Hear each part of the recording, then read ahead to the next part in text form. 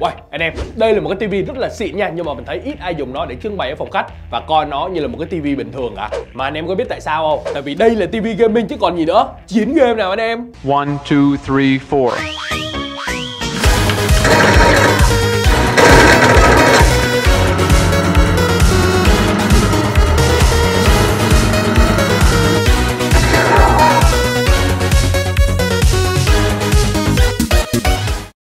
thấy là review nước ngoài á, khi mà review con OLED C2 này thì toàn là setup và cái góc làm việc và đánh giá nó như là một cái màn hình chơi game và làm việc thôi. Nhìn chả giống một cái tivi bình thường chút nào đúng không? Và thật sự là sau khi mà mình trải nghiệm con LG OLED TV này á, sau một cái khoảng thời gian thì mình thấy là cách làm của những review nước ngoài đó là hoàn toàn đúng luôn. Và đúng như thế nào? Ok, bây giờ chuẩn bị bắp rang, ngồi ngay ngắn và cùng vào video nghe tôi chia sẻ về con TV này nha. Let's go! Đây, anh em nhìn đi, kích thước của nó này chỉ có 42 inch thôi anh em ạ. Đây là một kích thước đó có thể coi là phù hợp để set up trên một cái bàn làm việc nha. Nếu so với các kích thước của TV phổ biến bây giờ như là 50 inch, 55 inch hay là 75 inch thì thật sự luôn 42 inch cho con OLED C2 này là nó nhỏ rồi đấy anh em ạ. Và do nó nhỏ nên là nhiều người họ set up và biến cái TV này thành một cái màn hình gaming, giải trí, xem phim và làm việc trực tiếp trên một cái không gian to như thế này luôn. Rồi, quay sang yếu tố thứ hai và đây là cái yếu tố càng khiến cho mình muốn biến cái TV này thành một cái màn hình chơi game đó chính là cái sự hỗ trợ của các công nghệ gaming ở trên con OLED C2 này. Trên MTV này thì mình thấy có rất nhiều công nghệ hỗ trợ như gaming như là G-Sync này AMD FreeSync Dolby Vision Gaming 4K VRR tần số quét 120Hz vân vân.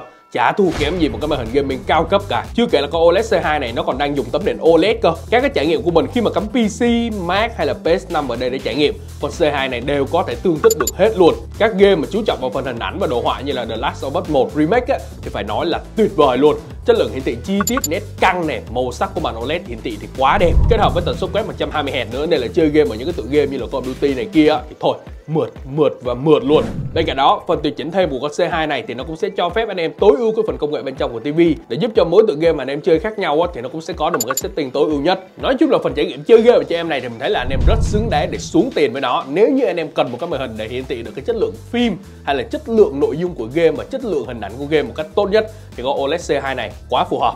Yên tâm đi, không quảng cáo đâu, tốt thật đấy Bởi vì tôi cũng là một gamer và con này nó giúp cho tôi trải nghiệm game nó phê lắm. Ngoài ra, nếu đã setup nó vào góc làm việc như thế này rồi thì với độ phân giải 4K trên cái thước là 42 inch như thế này nha, anh em sẽ có một cái không gian cực kỳ rộng để làm việc này, multitask với nhiều cửa sổ và quan trọng nhất là có được cái sự mượt mà của tần số quét 120 Hz cũng rất là tốt. Bên cạnh đó thì cái độ trong trẻ và hiển thị cực kỳ tốt mà OLED chắc chắn sẽ không làm anh em thất vọng trong lúc làm việc đâu. Ok, nếu như chơi game ở trên con TV này chán rồi thì bây giờ quay trở lại và sử dụng nó như là một cái smart TV bình thường nha. Nói thì bình thường thế thôi chứ những cái công nghệ hình ảnh trên con C2 này cũng đủ để cho anh em dán mắt vào cái màn hình này cả ngày đấy. Khoan nói về giao diện bên trong nha. Nhìn qua về những cái công nghệ hình ảnh của con OLED C2 này, anh em đã đủ mệt chưa?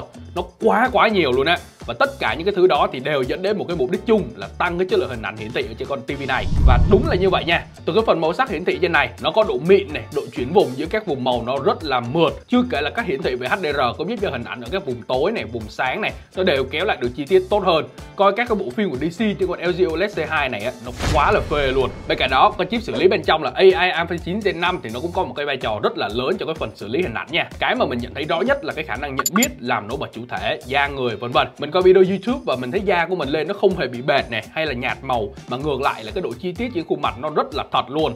Màu sắc thể hiện cũng rất là giống với những gì mà mình đã chỉnh sửa trên máy tính. Nên là anh em nào mà giải trí kiểu là xem phim làm việc với cái màn hình của OLED C2 này thì nó quá tuyệt vời luôn. Bên cạnh hình ảnh thì loa ở trên con này cũng là một cái điểm cộng rất lớn.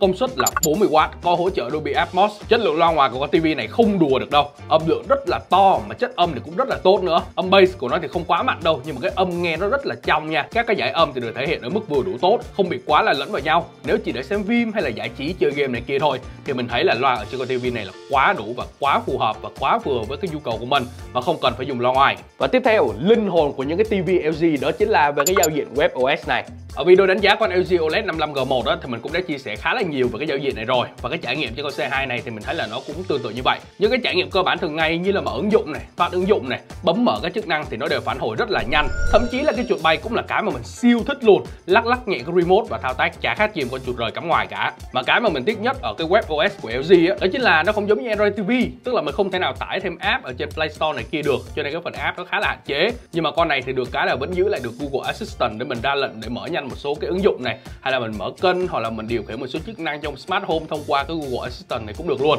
Cuối cùng, nói nhanh về thiết kế. Tuy kích thước là 42 inch, nhưng mà thiết kế tổng thể của chiếc TV LG này mình thấy là nó rất gọn nè. Bởi vì LG họ đã tối ưu cái phần độ mỏng của TV và cái độ mỏng của viền màn hình ở cái mức rất là tốt. Phần trên đế này thì mình thấy là cũng khá là hay nha. Nó kiểu dẹt dẹt như thế này này, nên là nhìn nó gọn. Mình có thử lung lay nhẹ cái TV này để coi là cái độ chắc chắn của chân đế nó tới đâu. Thì mình thấy là nó cũng rất là ok, nó không có bị kiểu bị lung lay như là mấy cái chân nhựa để tiền khác đâu. Ok, tổng kết lại thì LG OLED C2 42 inch là một cái TV mà mình thấy nó lạ lắm. Nó chẳng giống một cái TV bình thường bởi vì người ta chủ yếu mang cái TV này để set up như là một cái màn hình làm việc, chơi game là chính. Còn dùng nó như là một cái TV để trang trí ở phòng khách như thế này, đặt lên kệ TV này kia Thì mình thấy gần như là rất nhiều anh em reviewer không có làm nhiều cái vấn đề đó. Nhưng mà nếu anh em nào mua cái TV này về mục đích chỉ để kết nối với những cái thế hệ à, kiểu chơi game như là PlayStation này kia để tối ưu cái hình ảnh của con game mà anh em thích đó Thì thật sự con này nó quá đáng tiền luôn. Mức giá con này chỉ là 30 triệu nhưng mà xét về những cái thông số của nó đáp ứng cho cái việc chơi game thì nó cũng tương đương những cái màn hình gaming cao cấp tầm khoảng là 15 cho đến 20 triệu rồi còn 10 triệu còn lại anh em đổ vào cái tivi này với một cái màn hình chất lượng thì mình thấy là rất ok, đúng không? Anh em thấy sao? Đây là phần bình luận nha. Đừng có quên nhấn like, share và subscribe cho z. Mình là Gà Tổng. Hẹn gặp lại mọi người trong những video tiếp theo. Peace.